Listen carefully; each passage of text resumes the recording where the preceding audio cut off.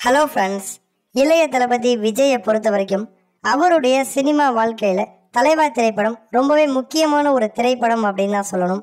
ஏன் அப்படின்னா தலைவா திரைப்படம் ரிலீஸ் ஆகும் பொழுது சில பிரச்சனைகள் காரணமாக கொஞ்சம் தாமதமாக தான் ரிலீஸ் ஆனது. தாமதமாக ரிலீஸ் ஆனாலுமே கூட இளைய தளபதி விஜய் ரசிகர்கள் அவருக்கு சப்போர்ட்டாக இருந்தாங்க.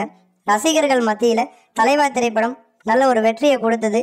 இருந்தாலும் கூட தயாரிப்பாளர் தரப்புலேருந்து பார்க்கும் பொழுது அவருக்கு கொஞ்சம் நஷ்டம் ஏற்பட்டது.